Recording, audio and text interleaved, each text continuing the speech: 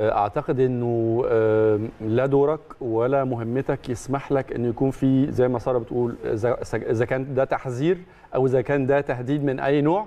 لكن في جميع الأحوال آه، ما أعتقدش إنه ده دورك أو دور المكان اللي أنت موجود فيه. وأعتقد إنه ده إذا كان أو إذا كنت حضرتك بتتصور إن ده ممكن يدين آه، محمود كهربا في شيء فأعتقد إنه في المقام الأول بيدين حضرتك لأنه بداية طبعا أعتقد إنه لغة ال- ال- التهديد والابتزاز دي أعتقد إنها آه، وتوقعنا واعتقدنا إنها انتهت خلاص يعني فترة مرحلة السيديهات والابتزاز والمعلومات والملفات دي خلصت عدينا منها وانتهت وما أعتقدش إنه جمهور الكورة حابب يشوفها بترجع آه، بشكل أو بآخر.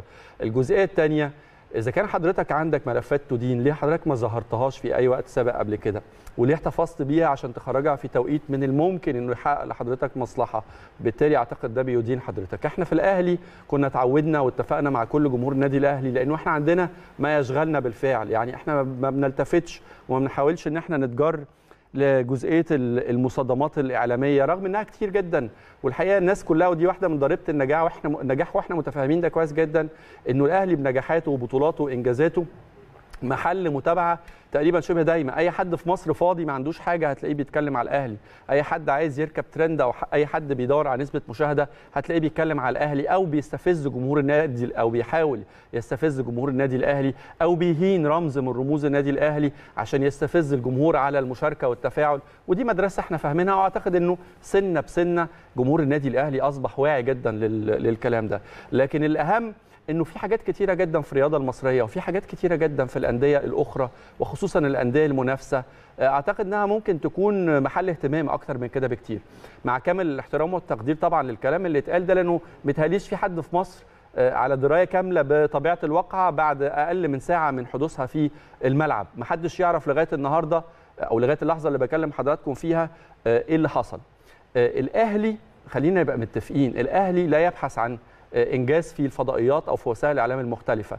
الأهلي ما اختارش إنه يكون آه، رقم 35 على العالم. ده كان قرار الفيفا أو 36 على العالم وأعتقد إنه في آخر تحديث بقى 42 لأن الأرقام متغيرة حسب مشاركات كل الأندية في العالم. الأهلي ما اختارش إن هو آه، يكون نادي القرن. بالعكس النادي تم إبلاغه طبقا لمعايير وضعت قبل الإعلان عن اللقب بسنين طويلة جدا وتم إعلان كل الأندية الإفريقية بيها وحصل النادي الأهلي على لقب القرن. كابتن محمود الخطيب ما نزلش اشترى ميداليات برونزية وراح حطها على رقبه نجوم النادي الأهلي وقال لهم مبروك أنتوا كسبتوا برونزية العالم. كل دي إنجازات حققها الأهلي بمجهود وبتعب وبعرق وبتخطيط وبتركيز كبير جدا اللي بيتهيألي لو آه، آه، آه، يعني حجم التركيز في محاولة تكسير أو إحباط أو تصدير الإحباط للنادي الأهلي وجماهيره اتبذلت في تطوير منظومة الأندية الأخرى أعتقد ال- الرياضة المصرية هتستفيد بشكل كبير جدا.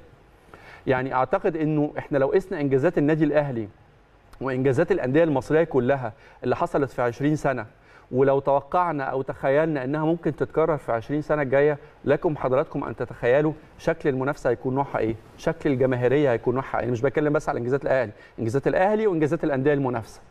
بصوا راجعوا وبصوا في دفاتر 20 سنة فاتت وشوفوا الأهلي حقق إيه؟